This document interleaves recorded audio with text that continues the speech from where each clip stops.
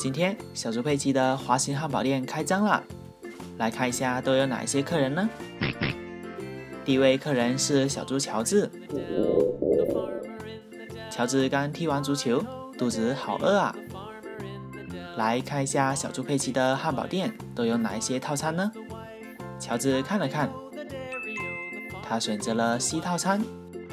佩奇说：“好的，您等等，很快就会做好的。”乔治选的套餐还有一份薯条，来做一份薯条给乔治。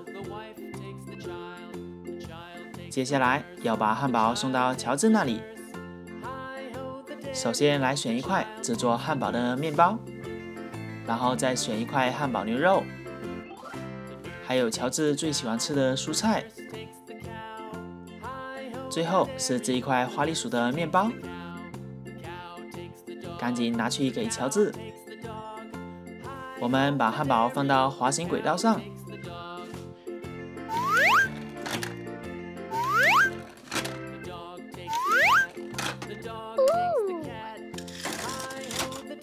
哇，汉堡送到了！哎，还有一个惊喜玩具，是一辆小黄人的合金车，看起来好萌好可爱啊！乔治已经忍不住想要吃汉堡了。他大口大口地吃了起来，乔治一口就把汉堡吃掉了，他的胃口好大呀！这里还有薯条呢，薯条也非常的美味，脆脆的。吃完汉堡套餐的乔治悠悠去玩了，他带着他的小黄人合金车，开开心心的回家了。接下来会是哪位客人来到小猪佩奇的汉堡店呢？哦，是猪爸爸。猪爸爸刚下班，肚子也好饿啊。有这么多的套餐，猪爸爸看了一下，他选择了非常大份的特别套餐。让我们来为猪爸爸准备一份特别套餐。猪爸爸选择的套餐里面有芝士，还有火腿，还有他最喜欢吃的蔬菜，还有非常营养的西红柿，最后是米奇的面包。这样子，特别套餐就做好了，赶紧拿去给猪爸爸。让我们来做一杯可乐，要把汉堡送到猪爸爸那里了。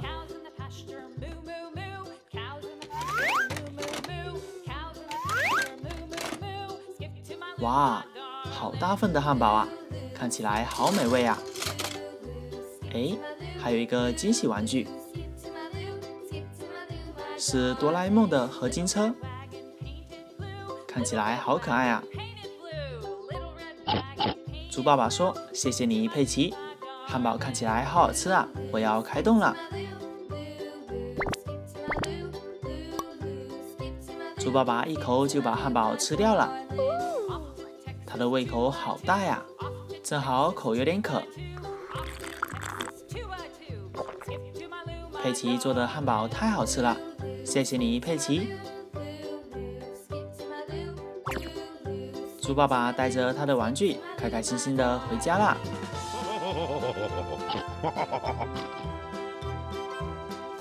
那你们觉得小猪佩奇的滑行汉堡店怎么样呢？欢迎给我留言。更多更好玩的玩具，我们下期再见，拜拜。